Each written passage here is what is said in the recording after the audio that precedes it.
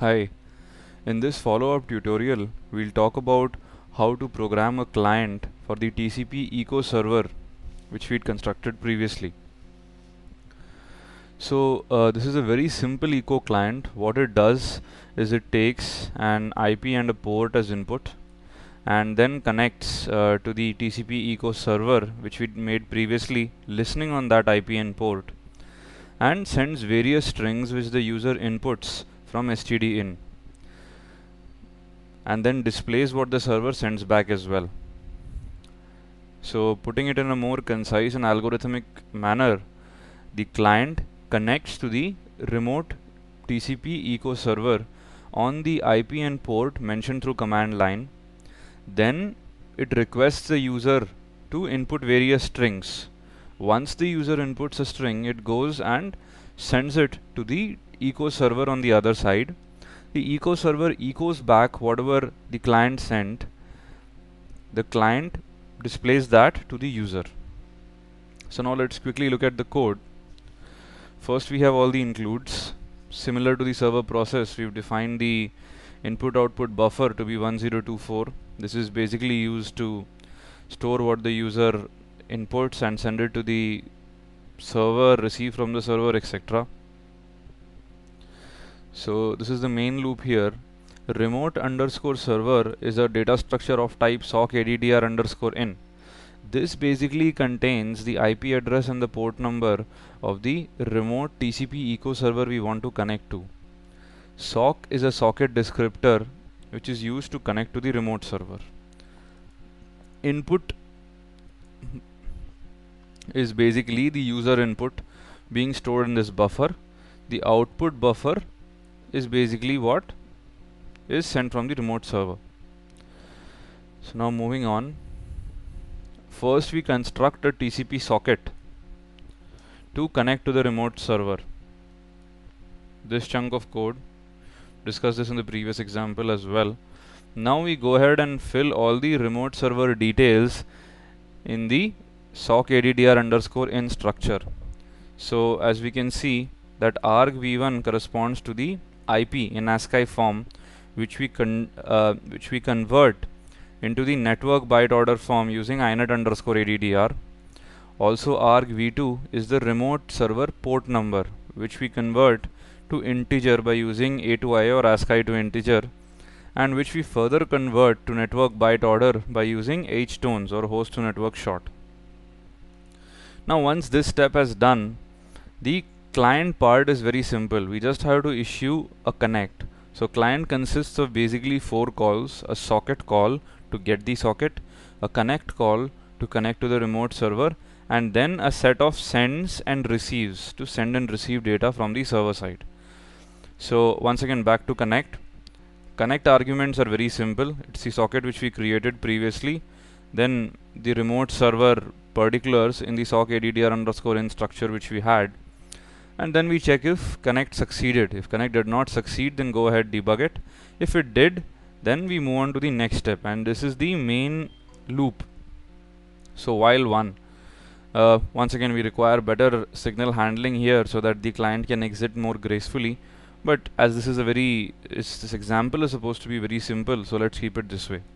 So now what we do is once we are connected to the remote server we issue an fgets to get some input from the user basically what we want is a line which the user will input from the console and then we would send that line as is to the remote server. Now as the remote server is an echo server as in the previous uh, example and video which we discussed so it's going to send back the same input string back to us right? So just after the send call we go ahead and make a receive call. And whatever we get in this receive call we display to the user this in all probability if the echo server and our client is working fine should be the stream string which was input.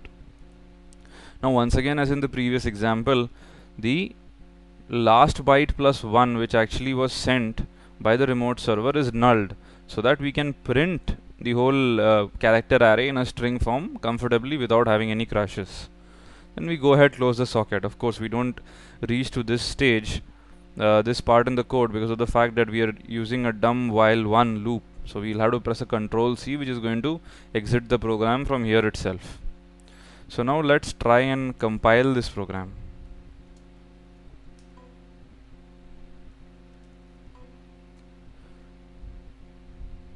So basically it compiles well. So we should have included uh, string.h so we can actually do that so uh, not much of a work.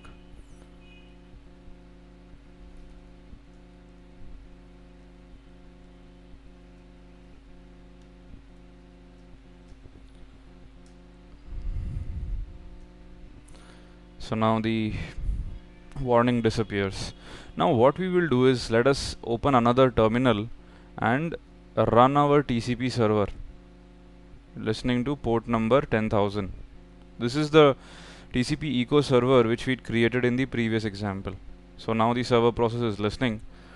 Just to make sure it is listening actually we do an netstat minus atn and confirm that it is in the listen state. Now we go ahead and we run the client. We have to give the IP address in which case it is 127.0.0.1 because it's on the local host. And then the port number on which the server is listening which we have seen is 10,000 so now actually we are connected. So as we can see on the server console new client connected to port number whatever. So now we send out a hi and we see that the server has echoed back with a hi. And the sent message on the server is hi. So hello world.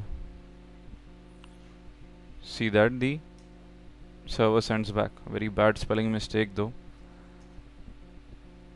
so all these smileys. Once we are done uh, with playing along with this we can just press a control C to exit. At that point the server process is clever enough to figure out that the client is disconnected. You can go ahead once again connect you know send across a couple of other strings and once again disconnect. So as we have seen that this is a very simple case of a TCP client client can be very complicated as well depending upon what sort of a parsing is to be done what is the protocol the server speaks and whatnot but I would say that the client program which we have currently seen is like the very basic building block of any client program, network client program. So to summarize, we have a socket call in the beginning, then we have a connect call, and then we have a series of sends and receives for the data. So client is much simpler to construct in comparison to a server process. So with this, uh, we come to the end of this tutorial, and I hope you've understood this concept properly. It is advisable that you try running the code and even try writing your own client without looking at the sample code and sample server code and practice because practice is what makes a man perfect and definitely uh, socket programming is no different thank you